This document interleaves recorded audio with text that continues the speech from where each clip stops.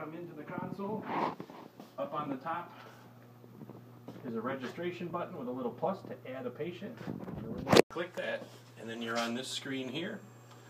You want to enter your patient's name. This is a touchscreen or mouse controlled, so we can put in test. Oop, it would help if I could spell. That's fine, doesn't give me anything. There we go, and you can go in and choose if it's male or female. Put in a birth date in the format of a number, dot, two digit day, and four digit year.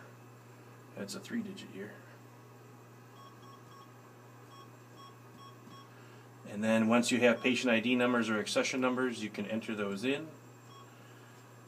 And then when you have everything that you like, you don't need anything down here for this study. You hit the green arrow on the bottom right to go next. Patient information is already the same as someone else, so we'll overwrite that. But normally you'd have a new patient, so that won't matter. And then you get to pick what body part you're going to do. For this one, we'll pick that we're going to do a chest x-ray. So you have all your choices of different extremities, spine work, head work, or chest. So you click chest. And then this is where you choose all the views you're going to do. So you choose, you're going to do a PA and a lateral. And now they're both over here, so you have your views. If you did a hand, you'd pick AP oblique lateral.